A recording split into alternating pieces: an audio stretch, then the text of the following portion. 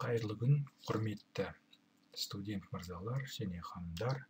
Бүгін біздің кезекті дәрісіміз бүгінгі дәрістің тақырыбы гурвиц критерийі. Гурвиц критерийі бұл автомат реттеу жүйелерінің орнықтылығын зерттеуге арналған алгебралық критерийлердің бірі және көп қолданыс тапқан критерийлердің бірі болып табылады. Гурвиц критерийі сызықты автомат реттеу жүйелерін зерттеуге арналады.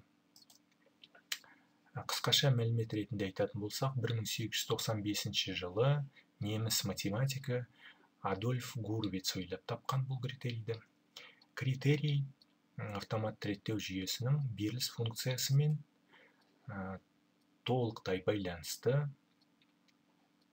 Дәлірек айтатын болсақ критерийді қолдану үшін әдеттегідей автомат реттеу жүйесінің беріліс функциясының сипаттауыш теңдеуі қажет бізге. Яғни критерий толықтай сипаттауыш теңдеудің коэффициенттері арқылы анықталады. Егер мынау бізде автоматты басқару жүйесінің сипаттауыш теңдеуі болатын болса онда критерий келесідей жарияланады. Яғни сызықты автомат реттеу жүйесі орнықты болу үшін гурвиц матрицасының барлық n диагоналдық минорларының мәндері оң сандар болу қажет. Егер осы аталған шарт орындалатын болса онда автомат реттеу жүйесі толықтай орнықты болып табылады. Бұндағы критерийдің орындалуына қажет жайт гурвиц матрицасы деген ұғым негіз болып отыр яғни критерийді қолдану үшін гурвиц матрицасын құрастыру қажет енді осы матрицаның құрастыру жолдарын қарастырайық критерийді қолдану үшін бізге гурвиц матрицасы қажет енді осы жерде гурвиц матрицасын құрастыру жолдарын атап өтейік аталған матрицаны құрастыру үшін бізге сипаттауыш теңдеу қажет. Гурвиц матрицасының өлшемі сипаттауыш теңдеудің дәрежесіне тура байланысты. Егер сипаттауыш теңдеу n дәрежелі болатын болса онда гурвиц матрицасының өлшемдері де n квадраттық матрица болады. Яғни матрицаның n бағаны болады және n жолы болады. Матрица келесі түрде беріледі. Әдетте оны h деген белгімен белгілейді. Енді осы матрицаны толтырудың шарттарын қарастырайық. Матрицаның алғашқы екі жолын толықтырады. Екі жолдың біреуі толықтай тақ немесе жұп коэффициенттерден тұрады. Екіншісі де дәл осылай тақ немесе жұп коэффициенттерден тұрады. Толықтай тақ болатын болса мына екінші жол онда біріншісі толықтай жұп коэффициенттерден тұрады. Жұп деп отырғанымыз сипаттауыш теңдеудің дәрежесінің мәні жұп немесе тақ болуы. Әдетте ә, сипаттауыш теңдеудің екінші тұрған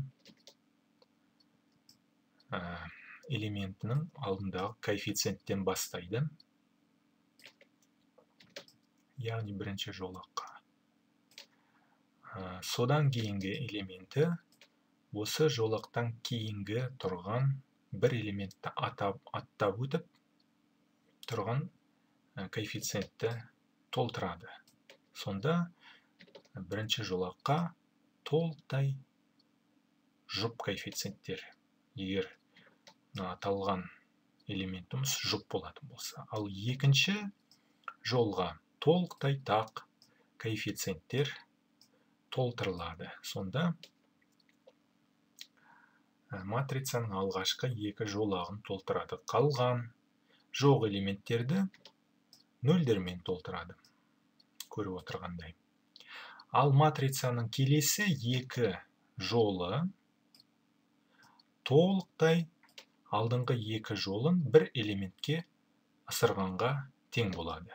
Яғни мына екі элементті нөл етіп бір элементке ысырып мына элементтер толықтай мына екі жолды ығысқанға тең болады. Дәл осылай n өлшемді квадрат матрицаны толықтай толтырылады. Қалған элементтер нөлмен толтырылады соңында мына соңғы элемент а нөлінші сипаттауыш теңдеудің соңғы элементімен тең болу қажет. Бұл матрицаның дұрыс немесе бұрыс толтырғандығының белгісі болып табылады егер матрица дұрыс толтырылатын болса онда матрицаның соңғы элементі сипаттауыш теңдеудің соңғы элементімен сәйкес келуі қажет. Енді критерийді қолдану үшін диагоналдық минорлардың мәнін есептеу керек. Мына матрицаның диагоналында орналасқан барлық минор, минорлардың мәндерін есептеу керек. Бірінші минорымыз мынау екінші минорымыз мынау үшінші минорымыз мынау. Солай әрі қарата кете береді. Төртінші минорымыз мынандай. Яғни бірінші минор матрицаның бірінші элементі осы сан оң болу қажет екінші элементі міне көрсетілгендей мына жерде орналасқан және бұның да мәні оң болу қажет үшінші элементі мінекей яғни бұл да осы жерден алынған. Бұның да мәні оң болу қажет осылай барлық элементтер матрицаның соңғы анықтауышына дейін есептеледі. Яғни диагоналдық минорлардың барлық мәндері оң болған жағдайда сызықты автоматты реттеу жүйесі оң орнықты болып табылады.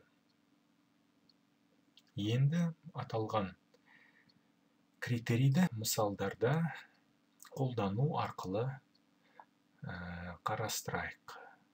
Мысал арқасында қолданып көрейік критерийді. Бірінші мысал Ә, автоматты реттеу жүйесінің беріліс функциясы мынадай түрде берілген енді тапсырма бойынша оның орнықтылығын анықтау қажет ол үшін бізге сипаттауыш теңдеудің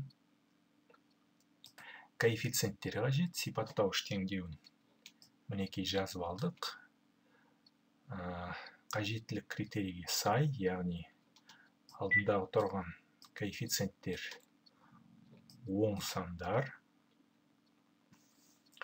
енді гурвиц матрицасын толтырайық. Екінші элементтен бастап тақ дәрежелі элементтерді бірінші жолаққа толтырамыз. Яғни матрица төрт өлшемді төрт жол және төрт бағаннан тұрады. Яғни төртінші дәрежелі сипаттауыш теңдеу болғандықтан. Яғни бірінші төрт элементі одан кейін тағы да төртінші элемент яғни бірінші жолаққа тек тақ дәрежелі коэффициенттерді толтырамыз. Енді екінші жолаққа жұп дәрежелі яғни төрт екі ноль деген дәрежелі коэффициенттерді толтырамыз. Алдында тұрған сан бір одан кейін аттап екінші дәрежесіне келеміз. Сонда тұрған коэффициент 6 6-дан 3 одан кейін элемент жоқ яғни нөлмен толтырамыз. Дәл осылай алғашқы екі жолақты бір элементке ығыстырып матрицаның келесі екі жолын толтырамыз. Сонда бірінші минорымыз төртке тең. Екінші диагоналдық минор жиырмаға тең есептейтін болсақ үшінші диагоналдық минор мінекей ол бізде 32-ге тең және гурвиц критерийінің ә, матрицасының кешіресіздер матрицасының толық анықтаушы толықтай осындай күйде есептеуге болады ол 96 яғни диагоналдық минорлардың барлық мәндері оң сандар. Сондықтан аталған мына автомат реттеу жүйесі толықтай орнықты деп айтуға болады. Дәл осылай екінші мысалды қарастырайық. Автомат реттеу жүйесі осындай түрде берілсін оның орнықтылығын анықтау қажет. Дәл жаңағыдай сипаттауыш теңдеудің коэффициенттерін қарастыру арқылы гурвиц матрицасын толтырамыз. Бұл жерде сипаттауыш теңдеу үшінші дәрежелі болғандықтан матрицамыз үш өлшемді яғни үш баған үш жолақтан тұрады. Екінші элементтен бастаймыз яғни бірінші жолға барлық жұп дәрежелердегі коэффициенттер жазылады. Екінші жолға тағы дәрежелі коэффициенттер жазылады. 5 1 0 және үшінші жолға алғашқы жолды бір элементке ығыстырып матрицаның қалған элементтерін толықтырамыз енді алғашқы минор бізде екіге тең он екінші минор бізде есептегенде минус сегіз болып шықты. Яғни гурвиц критерийінің шарты орындалмай қалды. Ә, минордың біреуі ең болмағанда біреуі бізде теріс сан болып отыр. Сондықтан гурвиц критерийі бойынша жүйе орнықты емес. Көрсетіліп отырған автоматты реттеу жүйесі орнықсыз. Дәл осылай келесі бір мысалды қарастырайық үшінші мысал зерттеуге берілген автоматты реттеу жүйесінің беріліс функциясы мынадай. Оның орнықтылығын анықтау керек. Горвиц критерийін қолдану арқылы. Аталғандай сипаттауыш теңдеу керек. Және горвиц матрицасын толықтырамыз. Яғни сипаттауыш теңдеудің дәрежесі 3 горвиц матрицасының да дәрежесі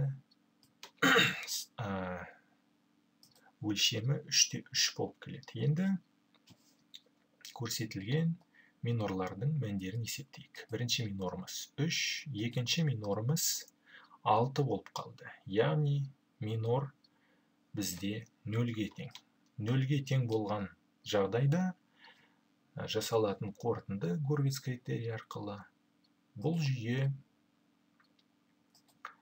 орнықтылық шекарасында яғни гурвиц критерийі арқылы сызықты автоматты реттеу жүйелерін зерттеген кезде жүйенің орнықты немесе орнықсыз және орнықтылық шекарасында болатындығын анықтауға болады.